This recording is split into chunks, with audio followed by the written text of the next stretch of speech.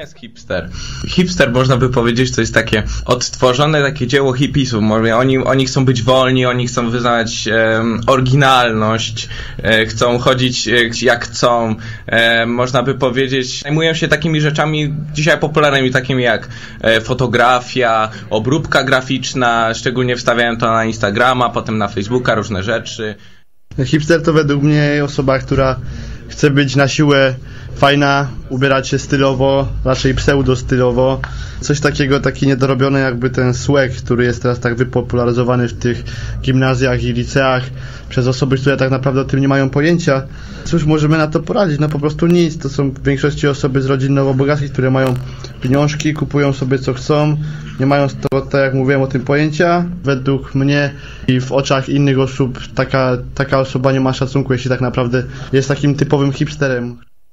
Hipster to taka osoba, która idąc przez ulicę zwraca na siebie uwagę.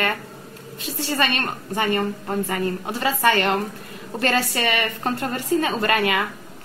Aczkolwiek z dnia na dzień hipster w naszych czasach oznacza osobę, która ubiera się tak samo jak inni. Czyli za duże swetry po dziadku, wielkie okulary, skórzane torby i generalnie hipsterów jest troszeczkę za dużo. Moim zdaniem hipster to jest taka śmieszna osoba, która chce się wyróżniać na tle innych. Y, hipster to z założenia powinna być osoba, która jest naprawdę oryginalna i nie robi tego dla samego bycia oryginalnym, bycia innym, tylko po prostu taka jest. A hipsterami nazywają się nastolatki, które noszą zawieszki w kształcie trójkątów i mówią, że są hipsterami. Hipster to jest taka osoba, która nie jest mainstreamowa, jak cała klasa mamy dopy smajcy, to hipster to jest taka osoba, która ma na przykład piątkę. Ci mainstreamowi tacy frajerzy i wszyscy wyglądają tak samo, a ten jeden oryginalny, prawdziwy hipster jest jedyny w swoim rodzaju. Kiedy ktoś mówi, że jest hipsterem, to raczej nie powinniśmy mu wierzyć. Wyjątkowy i niepowtarzalny i no po prostu inny i ciekawy. Hipster przede wszystkim musi mieć nienaganną fryzurę. Przeginają i są za bardzo oryginalni. Musi mieć nienaganą fryzurę, która wygląda niczym artystyczny nieład i tak naprawdę ma dawać do zrozumienia, że tak naprawdę nie przejmował się, jak ta fryzura będzie wyglądać, aczkolwiek była układana przez profesjonalnego stylistę przez 2,5 godziny. Właśnie jak już wspomniałam, hipster musi mieć sweter po, po swoim dziadku, musi mieć skórzaną torbę i rurki, jeżeli jest mężczyzną, które opinają jego chude nóżki i inne części ciała. Konieczne są też e, koszule z kołnierzykiem zapiętym pod samą szyję. A okulary właśnie. Najlepiej zerówki, bo tak naprawdę nie mają, nie mają wady wzroku, tylko muszą się polansować, że są inteligentni. Hipster mm, teraz można by powiedzieć, że jest taki mainstreamowy, to już nie jest hipsterstwo. Rzadko się właściwie spotyka hipsterów teraz, takich prawdziwych. Hipster według mnie jest to osoba oryginalna, osoba, która ma jakieś cechy charakteru, które, e, które potrafi w jakiś sposób wyrazić. Nawet e, dajmy na to osoba, która nie wiem, ma dużo tatuaży na sobie. E, myślimy o nim, że a to jest fajna osoba, ma fajną osobowość. Według mnie hipster no nie jest coś złego. To jest po prostu może i taki wykreowany przez ludzi stereotyp ludzi takich, którzy nie wiem, są, są tacy, nie wiem, zadufani w sobie, o, w ten sposób. E, ale wydaje mi się, że nie, bo to jest też głównie hipsterzy, to są ludzie, którzy ubierają się modnie, ubierają się trochę według swoich własnych gustów, stylów i myślę, że to jest pozytywne wśród e, młodzieży teraz tutaj w naszych czasach.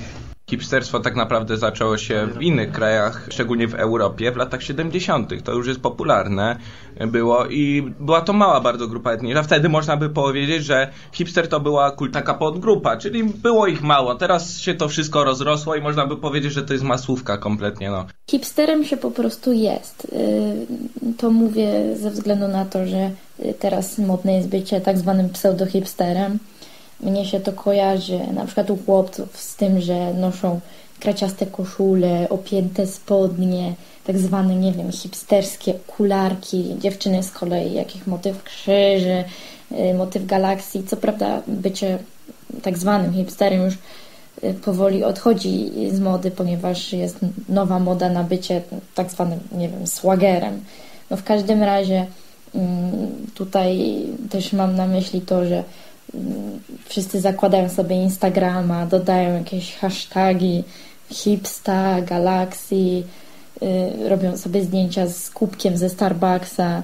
Też, nie wiem, przypomniała mi się taka rzecz, że hipsterom zawsze wystają skarpetki z butów, a w przypadku dziewczyn noszą one właśnie takie skarpetki do butów z odkrytymi palcami albo do sandałów. Według mnie hipsterstwo i mainstream to są dwie odmienne sprawy i różnią się tym po pierwsze, że te dwa słowa są całkowitym przeciwieństwem. Hype to jest, to od tego pochodzi słowo hipsterstwo, czyli bycie odmiennym, czymś dziwnym. No a teraz właśnie ten hype się zlewa z tym mainstreamem, a mainstream to tak naprawdę jest osoba, która według tych takiej genezy tak jakby, to jest osoba, która po prostu nie przejmuje się modą, ubiera się tak jak każdy, tak jak main, czyli każdy, nie?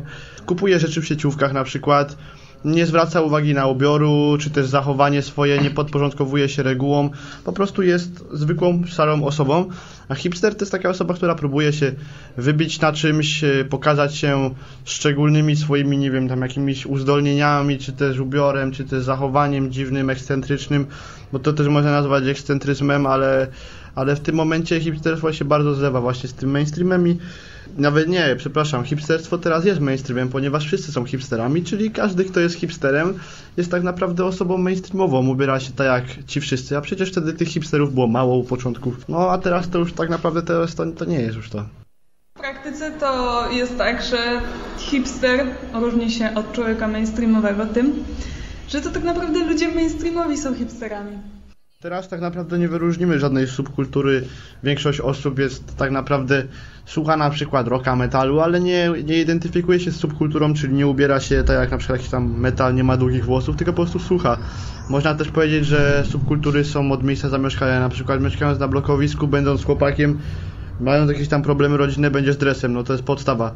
Każdy tam na przykład, dajmy na to, w dużych osiedlach nowoczesnych, znaczy nowoczesnych, z okresu komunizmu, gdzie budowali bloki z wielkiej płyty, no to tam można spotkać tylko e, tak zwanych dresiarzy, którzy sobie siedzą pod bokiem, piją piwo na ławce i jedyne osoby, które tam nie są takimi osobami, to tak naprawdę albo ci, którzy chcieli coś w życiu osiągnąć, albo tacy na przykład studenci, którzy przyjeżdżają sobie zamieszkać tam.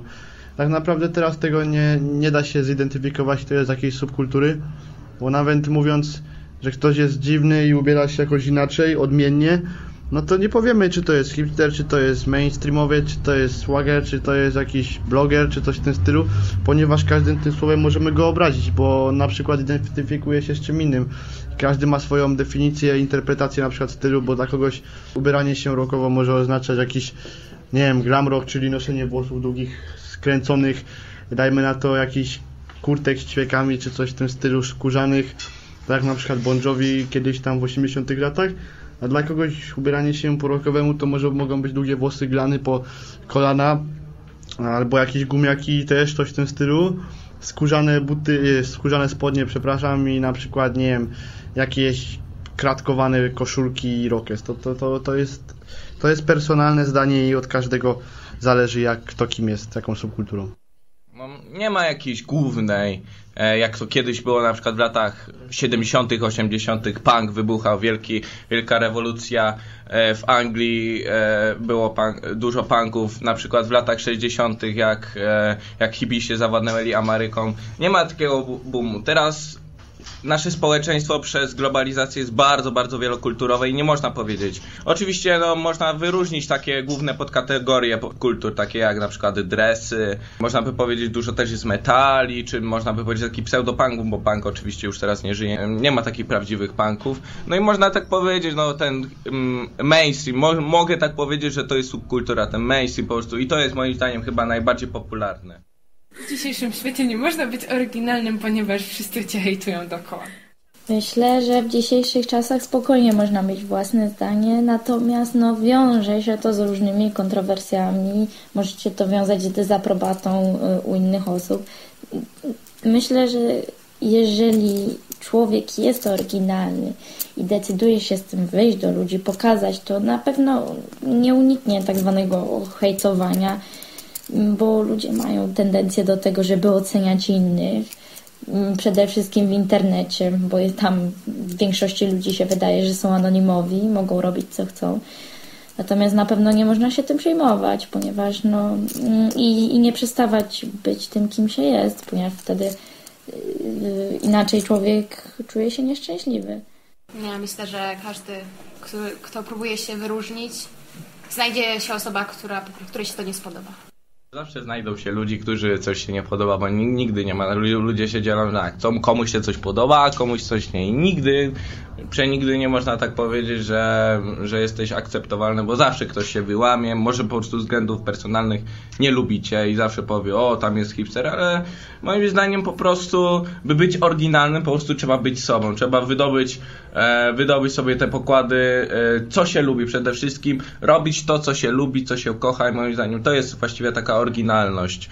Ubierać się jak chcę, interesuję się tym chcę, robię to, co chcę. Moim zdaniem to jest oryginalność i nie da powiedzieć się, bo każdy człowiek ma subiektywne odczucie dotyczące oryginalności. Patrząc na te wszystkie gwiazdki typu Lady Gaga, która uważam jest ciekawą osobą, to żeby być oryginalnym, to trzeba być jakby szokować. A najlepiej jest być sobą mimo wszystko i nie starać się jakoś y, wyrażać siebie jako osoby wow, ponad innymi. Da się być oryginalnym. Trzeba mieć po prostu głównie osobowość. Osobowość, wyróżniać się czymś, mieć fajne cechy charakteru i być po prostu pozytywnym człowiekiem.